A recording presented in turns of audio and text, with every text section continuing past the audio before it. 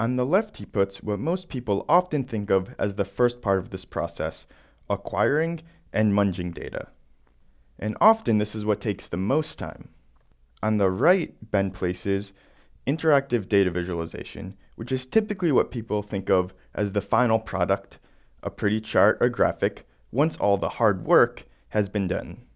Ben places the domain he thinks most naturally fits above each stage, the first of which being computer science.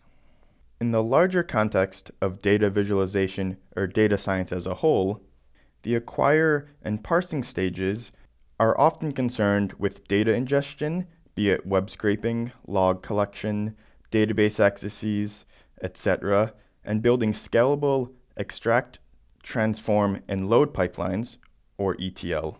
The second group here, of filtering and mining, represents what is often most associated with data science, and many people consider the most exciting. This includes modeling, data mining, and exploratory analysis, and applying statistical and mathematical theory to discover insights.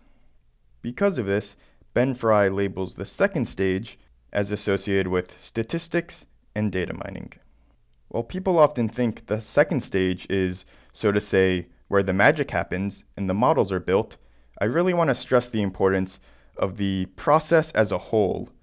After all, if you didn't have any data in a readily accessible form, you couldn't model it, and even once you have a model, if you can't present and communicate your results, they might as well never have happened.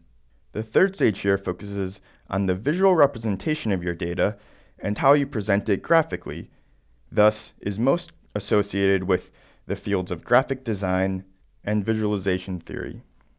It is in this third stage that we experiment with different visual encodings to present our data in the most effective manner.